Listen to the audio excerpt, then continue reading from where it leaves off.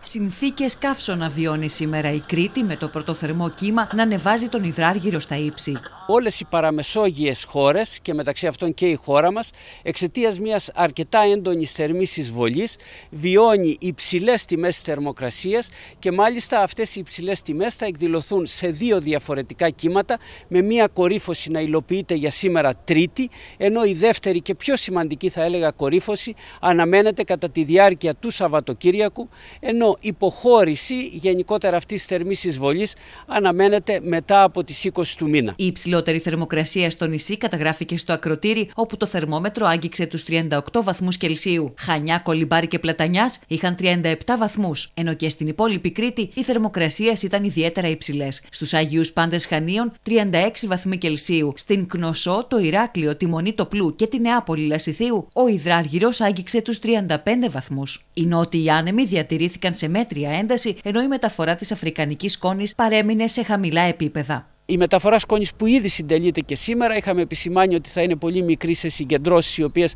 θα προκαλούσαν ανησυχία όσον αφορά την εισπνεώμενη σκόνη ενώ παραμένει μια μικρή ποσότητα και ε, θα λέγαμε όχι ιδιαίτερα έντονη στην ατμόσφαιρα να αιωρείται που προκαλεί ως επιτοπλίστων μια μικρή θολότητα στην ατμόσφαιρα. Πολλοί σήμερα επέλεξαν να περάσουν τις ώρες τους στην παραλία αφού η μέρα θύμιζε περισσότερο καλοκαίρι. Οι θερμοκρασίες στο θαλάσσιο περιβάλλον ε, του νησιού μας αλλά και στο Αιγαίο είναι πάρα πολύ καλέ για αυτή την περίοδο και έτσι με τις ευνοϊκές συνθήκες ε, λόγω των ανέμων για κολύμβηση καθώς επίσης και με θερμοκρασίες οι οποίες θα φτάνουν στους 19 έως και 20 βαθμούς Κελσίου νομίζω ότι είναι κάτι το ιδανικό, κάτι το οποίο μπορούμε να το απολαύσουμε εδώ στον τόπο μας. Η θερμοκρασία θα πέσει στη διάρκεια της εβδομάδας ενώ από την Παρασκευή ένα δεύτερο θερμό κύμα θα διαμορφώσει ιδανικές συνθήκες για την εποχή. Οι μέγιστες τιμές, οι οποίες αναμένονται να διαμορφωθούν από την Παρασκευή και ιδιαίτερα για το Σαββατοκύριακο, θα είναι ε, σίγουρα πάνω από τους 30 βαθμούς Κελσίου, με ένα μέσο όρο να κυμαίνεται γύρω στους 30 με 32-33 βαθμούς Κελσίου,